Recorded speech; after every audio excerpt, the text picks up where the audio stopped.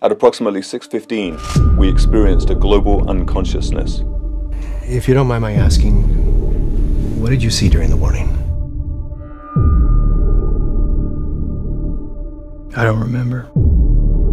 Have you had nightmares since it happened? The first sign, as some are calling it, can be photographed and televised, but not touched, and is clearly something not of this world. I'm Dr. Anthony Farron. I run a research team out of Parkland. It's regarding your son. What is it you want exactly? Just answers. What he thinks is coming and when.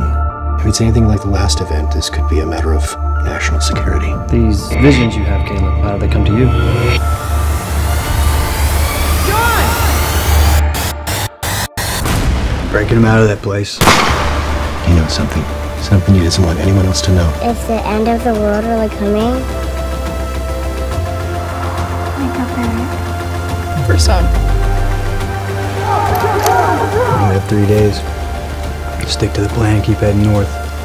Whoever controls the boy controls the future. Bring him back to us. I believe in him and what he stands for. They won't stop until they find me. So many will be lost when it happens. When what happens, Caleb? When the earth goes black. It is currently being regarded as an unexplainable phenomenon.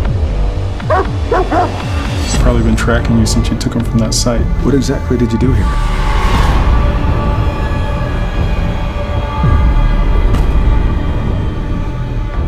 You really believe he's gonna receive a message when he gets there? It doesn't matter what I believe anymore. We'll find him. Gifted or not, he's still just a boy. We both know that's not true.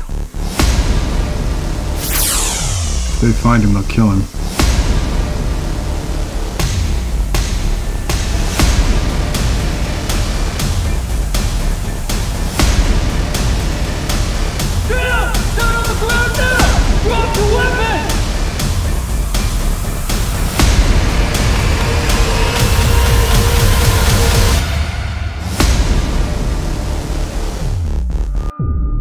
The incident has caused widespread panic across the globe, while there has still been no official statement on what may have caused the event.